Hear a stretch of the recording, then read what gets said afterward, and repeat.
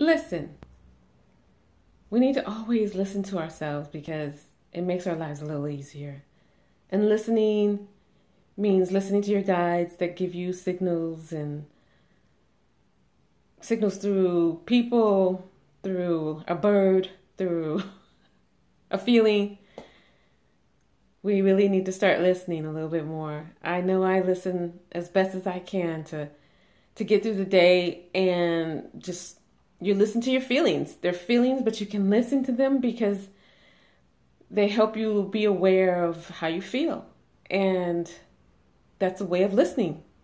Listening to your feelings and listening to just the infinites as they give you signs and signals through people, words, sometimes postings on Instagram come up and you're like, oh my gosh, that was so for me.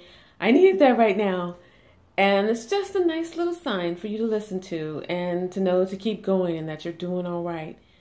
And we're all, they're always there supporting us. We're supporting ourselves. Our our spiritual guides are supporting us, and infinite beings, or however you want to phrase it, you just know there's something extra and something more than just the reality of now, and there's just infinite more. So listen, listen gently, listen compassionately, and sometimes listening may be a little awkward and you may not understand, but at least you gave it a try to listen. Because I know sometimes it's just like, did I get that right? Or am I kind of off? But no matter what, you gave it a listen, and that's all that counts. So keep listening, keep listening to your heart, your feelings, keep listening to signs and signals, especially when they're just they're so positive and good feeling.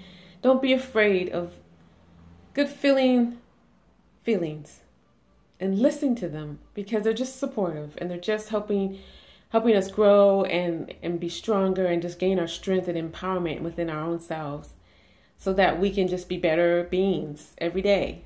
So appreciate listening to yourself. Appreciate listening out there and um, keep going at it.